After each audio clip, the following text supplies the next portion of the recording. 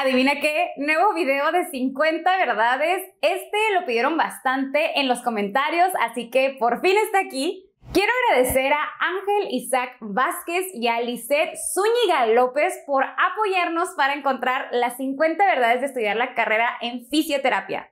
Si tú quieres estudiar esta carrera, estás estudiando esta carrera o ya egresaste de la carrera, quédate a escuchar estas 50 verdades porque quiero leer sus comentarios de qué les parece, qué dudas tiene. Si tú aún no tienes la menor idea de qué estudiar, entra a orientacionesvocación.com para que conozcas nuestros programas de orientación vocacional y podamos ayudarte. Número 1. No es solo dar masajes, que de hecho a muchos fisioterapeutas no les gusta dar masaje. 2. Normalmente tiene una duración de 4 años más un año de servicio. Claro, esto depende de dónde la estudies. 3. Mucha gente cree que es casi como la carrera de medicina, pero son dos carreras distintas, ambas del área de la salud. 4. Y que no sea medicina no significa que sea una carrera más fácil. 5. Las técnicas de masoterapia, que es donde se engloba esto de los famosos masajes, son una de las muchas técnicas que se utilizan para tratar las diversas dolencias. 6. Entre algunas otras técnicas están las terapias con frío, calor y más. 7. La fisioterapia previene y diagnostica las limitaciones funcionales y discapacidades relacionadas con el movimiento del cuerpo. 8. Verás materias como biología, anatomía humana, inmunología, psicología, patología, educación para la salud, farmacología y también te verás involucrado, involucrada en el desarrollo humano en sus diferentes etapas. 9. Tendrás contacto directo con el paciente. Por lo tanto, es necesario que desarrolles tus habilidades de comunicación para fortalecer la confianza y así dar una mejor atención. 10. En la opinión de uno de nuestros entrevistados, esta es la carrera de las del área de la salud en la que se tiene más contacto directo y personal con el paciente. 11. Es una carrera dinámica y muy rara vez vas a estar sentado frente a la computadora. 12. La fisioterapia tiene una oferta de trabajo muy amplia. Puedes trabajar en hospitales, centros de rehabilitación, instituciones deportivas o las dedicadas a la discapacidad. También pudieras dar clases y dedicarte a la investigación. También es una carrera con mucho crecimiento en los próximos años debido a las secuelas de COVID. 13. Los salarios en clínicas no suelen ser muy buenos, pero eso también depende de la institución en donde vayas a laborar. 14. Trabajando en tu propio consultorio puedes tener mayor oportunidad de mejor ingreso que trabajando en una clínica. Además de que podrás ser más independiente y acomodar tus propios horarios. Al final de cuentas es una carrera en la que podrás emprender. 15. Depende del plan de estudios, puede que te den una materia de administración dentro de la carrera. Pero, como ya sabes, no te van a enseñar todo en la escuela y si quieres hacer tu propio consultorio, tendrás que aprender de temas de negocios por tu cuenta. 16. Será necesario desarrollar tu creatividad, porque aunque no sea lo primero que pensamos, creatividad con fisioterapia, es importante que seas creativo e innoves al diseñar cómo tratar a tu paciente. Te recuerdo, la creatividad está enfocada a resolver problemas de una manera distinta, por eso es necesaria en esta carrera.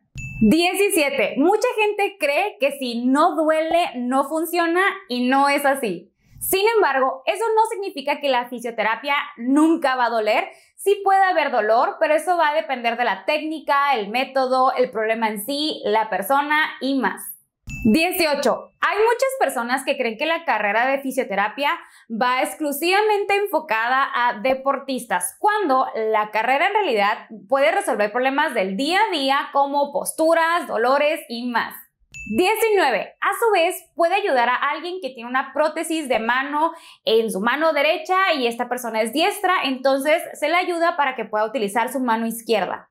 20. Es una carrera muy práctica. 21. Las personas que entrevistamos recomiendan que si puedes hacer tus prácticas desde antes, muchísimo mejor. Busca clínicas donde puedas ver procedimientos o incluso puedes preguntar o participar con el equipo deportivo de la universidad en donde estudias. Aquí es cuestión de buscar. 22. Existen cursos, congresos, certificaciones y otros estudios complementarios para formarte aparte o después de la universidad. 23. Tip, antes de entrar a un curso, investiga muy, muy bien para confirmar si realmente vale la pena. Hay muchos cursos relacionados a la fisioterapia que no tienen un fundamento real. Cuidado con eso. 24. Entre las maestrías que puedes estudiar están fisioterapia neurológica, fisioterapia deportiva, fisioterapia cardiológica, fisioterapia cardiopulmonar, fisioterapia dermatológica, fisioterapia obstétrica y más. 25, ojo, en la carrera te puedes encontrar con maestros que más que resolverte dudas te confunden un poquito más y esto pasa con muchas de las carreras en que a lo mejor la misma carrera no es que les dé los fundamentos en educación o en fortalecer su proceso de enseñanza-aprendizaje a los maestros, sino que son expertos en ciertos temas de las carreras, pero quizás les hace falta aprender a compartirlos y también aquí es cuestión de que tú preguntes y estudies por tu cuenta. 26. En esta carrera es bueno e importante que sepas de, manera general muchas cosas, pero es recomendable que te especialices en un área y crecer en ella. 27. Eso siempre me da mucha risa, pero en las reuniones familiares siempre habrá algún tío, tía que te dice que les duele algo y que necesitan tu ayuda. 28. Te molestará que hay mucha gente que no valora esta carrera solo porque no la conoce. 29. Muchos pacientes pensarán que vas a electrocutarlos. 30. Cuando la gente sepa que estás estudiando esta carrera, siempre habrá alguien que te pida un masaje, ya sea una reunión familiar, con amigos, en la escuela, en general, siempre te habrá alguien. 31. Te tocarán pacientes que se quitarán toda la ropa, aunque la terapia sea en un área específica. 32. Tendrás preferencias o disgustos de áreas a tratar. Una de las personas que entrevistamos no le gustan los pies, por ejemplo, pero ella nos decía que si un paciente tiene un esguince en el tobillo, pues ni modo. 33. En un nivel tendrás también que acostumbrarte a los olores, aunque a terapia se tiene que llegar aseado. 34. Puede que a veces no te dé tiempo ni de comer por el flujo de pacientes, a veces comes en tu carro o de plano te saltas las comidas. 35. Escucharás muy seguido que los fisioterapeutas son quiroprácticos, masajistas o sobadores. 36. La gente te pondrá a prueba con comentarios como, a ver qué tengo, como si tú, por ser estudiante o egresado de fisioterapia, tuvieras que saber todo de todo.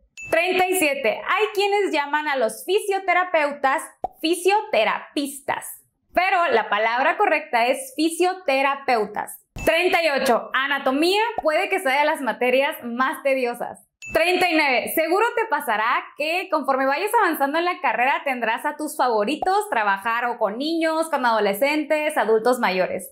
40. Esta se me hizo muy bonito porque hay mucha gente que decidió entrar a esta carrera porque ellos eran deportistas y se lesionaron y quieren aprender a tratar esas lesiones y ayudar a otras personas.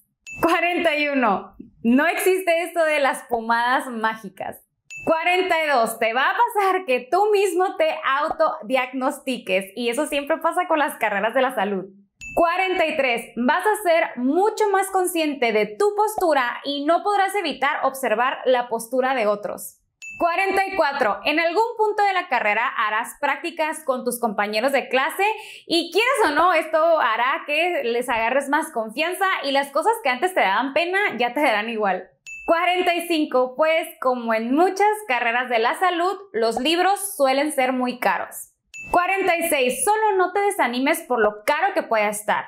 Es recomendable que hagas grupos con tus compañeros, que preguntes dónde conseguir los libros, que se los presten o conseguirlos también de manera electrónica.